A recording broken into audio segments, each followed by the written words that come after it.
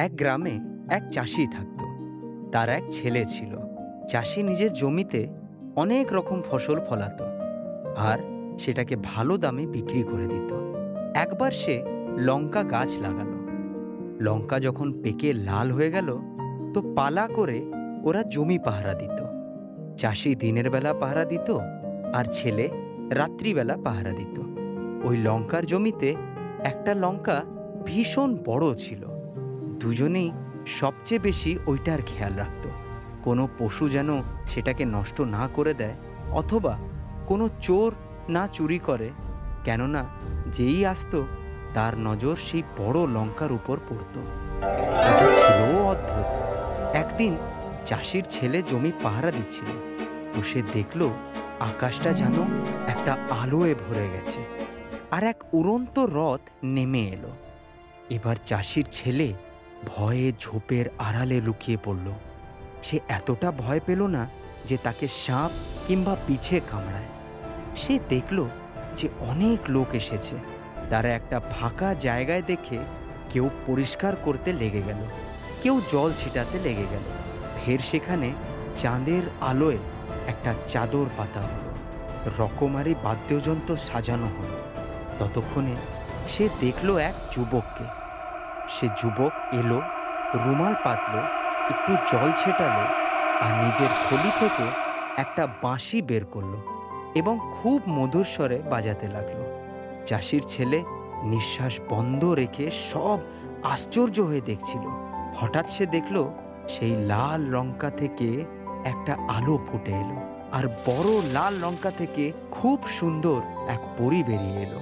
ওর সুন্দরতা দেখে ব্যাস, চোখ একেবারে আটকে গেল। পুরোপুরি লাল কাপড়ে সেজেছিল। যেমনি পরি ওইখানে এলো, সেখানে নাচ, গান, খাওয়া, দাওয়া সব শুরু হয়ে গেল। সে রাত ভোর দৃশ্য দেখতে থাকল যেমনি ভোর চারটে বাজলো, হঠাৎ করে যেন সবার সম্বিত ফিরল আর তাড়াতাড়ি উৎসব শেষ হলো। লালপরি আবার লঙ্কার ভিতরে ঢুকে গেল। অন্য লোকেরা রথের উপর বসে আকাশে চলে গেল। ছেলেটার মনে হলো যে সে স্বপ্ন দেখছে। সে দাঁড়াল এবং ধীরে ধীরে বাড়ির পথ ধরল। বাড়ি ফিরে দিন ভোর ঘুমালো, কেন কিনা রাত্রে আবার পাহারা দিতে হবে। এখন তো সে খুব উৎকণ্ঠায় রাত নামার অপেক্ষা করতে থাকল এবং জমিতে গিয়ে লুকিয়ে পড়ত। প্রতিদিন সে সেই দৃশ্য দেখত। এমনি করতে করতে প্রায় এক মাস পেরিয়ে গেল। একদিন ওর মনে একটা খেয়াল জাগলো। সে বিকেলে জমিতে গেল আর খুব নরমভাবে বড় লঙ্কাটা ছিঁড়ে নিল এবং বাড়িতে ফিরে শরীর খারাপের অজুহাত দিয়ে বাড়িতে ঘুমিয়ে পড়ল। সে লঙ্কাটাকে খুব যত্নে রেখে দিল এবং নিজের ঘরের ছাদের উপরে একটা ঘরে বসে পড়ল। ও ঘরে একটু আগুন জ্বালিয়ে বসল। যেমনি রাত বারোটা বাজলো, হঠাৎ ছাদে আলোয় হয়ে উঠল। ছাদের মধ্যে উড়ন্ত রথ নেমে এলো। ফের যা সব জমিতে হতো, সেটা ওর ছাদের ওপর হতে লাগল। লঙ্কাটা থেকে পরি বেরোলো। আবার সবাই নাচ গানে মিতে উঠল। তখনই ছেলেটা এই অবসরটাকে কাজে লাগালো আর গিয়ে লঙ্কাটা তুলে আনলো আর ওইটাকে জ্বলন্ত আগুনে ফেলে দিল। এবার সে অপেক্ষা করতে লাগল, কখন ভোর হবে আর লালপরি নিজের লঙ্কাটাকে খুঁজবে। তখন কি করা যাবে? এসব ভেবে ও একটু ভয় পাচ্ছিল। ভোরের চারটে বাজতেই সবাই নিজের জিনিসপত্র গোটাতে লাগল এবং উড়ন্ত রথে বসে চলে গেল। পরি লঙ্কা খুঁজতে লাগল, কিন্তু সে কোথাও পেল না। তখন চাষির ছেলে ঘর থেকে বেরিয়ে এলো। সে লালপুরীর হাত ধরল আর বলল তুমি যা খুঁজছ, সেটা তো আগুনে পুড়ে ছাই হয়ে গেছে। পরি আশ্চর্য হয়ে তার দিকে তাকিয়ে বলল, এবার কি হবে? আমি কি করি? কোথায় যাই? ফের সে বলল লালপুরি আমি তো তোমাকে মাসখানিক ধরে দেখছি, আর আমি তোমাকে ভালোবাসতে শুরু করেছি। তুমি কি আমাকে আপন করবে?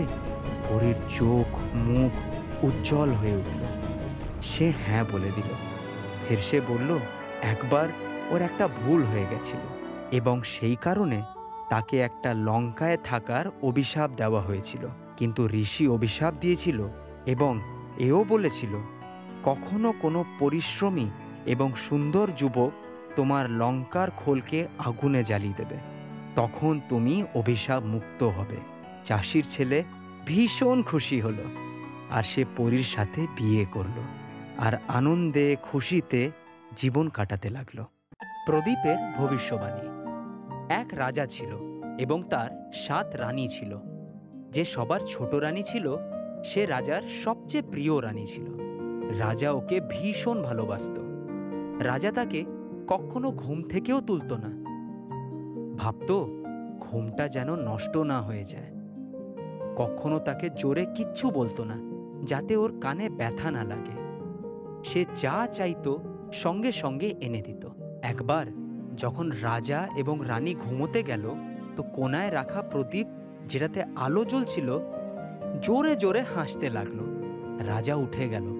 সে বুঝতে পারছিল না যে এই হাসির আওয়াজটা কার। তখন সে মন দিয়ে শুনল। প্রদীপটা বলছিল, ও রাজা, যে রানীকে তুমি এত ভালোবাসো, সে একদিন তোমার সামনেই লাঠি দিয়ে মার খাবে। আর তুমি কিচ্ছু করতে পারবে না। রাজাকে প্রদীপের ভবিষ্যবাণী বিচলিত করে দিল। সে ভীষণ দুঃখী এবং মনমরা হয়ে গেল। পরের দিন সকালে সে উঠল আর একটা সোনার বাক্স আনলো। তাতে অনেক কাপড়, জামা, গয়না, সোনা, রূপা রেখে ঘুমন্ত রানীকে ওইটাতে শুইয়ে দিল এবং নদীর ধারে গেল আর বাক্সটাকে নদীতে ভাসিয়ে দিল। সে ভাবল না রানী আমার সামনে থাকবে আর না আমি তাকে লাঠি দিয়ে মার খেতে দেখব। সে উদাস মনে মহলে ফিরে এলো। কিন্তু সে ভীষণ উদাস হয়ে গেল।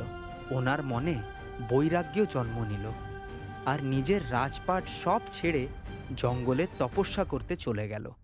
এদিকে রানীর বাক্স ভাসতে ভাসতে এক অন্য নগরে পৌঁছে গেল।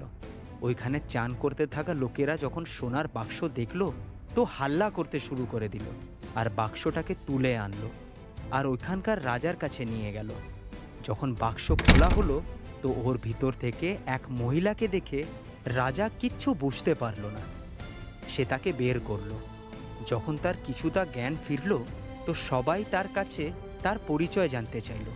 সে তো নিজেই বুঝতে পারছিল না যে সে এখানে কি করে এলো। ও একদম চুপ হয়ে গেল। রাজা বলল, কোনো ব্যাপার না এনাকে আমি মহলে রান্না করার কাজে রেখে নিচ্ছি। ইনি টাকা পয়সাও পেয়ে যাবেন আর ইনি এখানে থাকতেও পারবেন। এই ঘটনাটা প্রায় বারোটা বছর চলে গেল। এবার রাজা যে তপস্যা করতে জঙ্গলে গিয়েছিল, সন্ন্যাসী হয়ে গেছিল। ওর তপস্যাও পূর্ণ হয়েছিল। ঘুরতে ঘুরতে সে একদিন সেই নগরে এসে পড়ল। তো তিনি তাকে সম্মানের সাথে নিজের মহলে ডাকলেন। তাকে যখন অন্ন গ্রহণের অনুরোধ করা হলো, তো তিনি বললেন, আমি তো আমার অন্ন নিজেই রেঁধে নিই কেবল আপনি কিছুটা আটা, ডাল, নুন ইত্যাদি দিয়ে দিন। রাজা নিজের মহলে জানিয়ে দিলেন যে সন্ন্যাসীকে সমস্ত জিনিস দিয়ে দেওয়া হোক। তখনই তার রান্না করার মহিলা সব জিনিস এনে দিল এবং সাধুকে সব দিয়ে দিল। উনি বললেন, এবার আমি এইখানে রান্না করব। তারপর পুজো আচ্চা করে অন্ন গ্রহণ করব। ততক্ষণ তুমি এই জিনিসগুলো একটু দেখো। মহিলা ঘোমটায় নিজের চেহারা ঢেকে রেখেছিল। সাধু আটা দিয়ে সাতটা রুটি বানালো, রান্না করল এবং নিজে পুজো আর্চা করতে লেগে গেল। ফিরে দেখল মহিলা ওনার সামনে চুপটি করে বসে আছে। যেই সাধু রুটিতে হাত দিল, তো দেখল সেইখানে একটা রুটি কম। এখন তার ভীষণ রাগ হলো। উনি বললেন, আমি অন্ন গ্রহণ করব না, কারণ এই খাবারটা কেউ এঠো করে দিয়েছে। রাজা জানতে পেলে দৌড়ে দৌড়ে এলেন। সাধু বললেন, আমি আপনার এই মহিলাকে এই জন্য বসিয়ে গিয়েছিলাম যাতে অন্য কেউ ছুতে না পারে। এবার তো রাজার রেগে আগুন হয়ে গেল। তিনি মহিলাকে ভীষণ বকলেন। সে বেচারি ভয়ের চোটে উঠে দাঁড়াল। উঠে দাঁড়াতেই ওর আঁচল থেকে একটা রুটি সামনে পড়ে গেল। আর কি হবে? রাজা ওকে মারতে শুরু করে দিল। ফের একটা লাঠি আনালো। সেটা দিয়েও ওকে মারল। হঠাৎ করে তার ঘোমটা খসে পড়ল। যেমনি সাধুর নজর তার দিকে ফিরল, সে বিস্ফোরিত হয়ে মাথায় হাত দিয়ে বসে পড়ল। তিনি রাজাকে জিজ্ঞেস করলেন, এই মহিলা কে? তখন রাজা সমস্ত ঘটনা জানালেন। সাধু যখন রাজাকে বললেন ইনি ওনার সবচেয়ে প্রিয় রানী ছিলেন। তখন রাজা সাধুর কাছে ক্ষমা চাইলেন। কিন্তু সাধুর রূপ ধারণ করা রাজা নিজের কর্মে ভীষণ গ্ল্যান হয়ে গেলেন।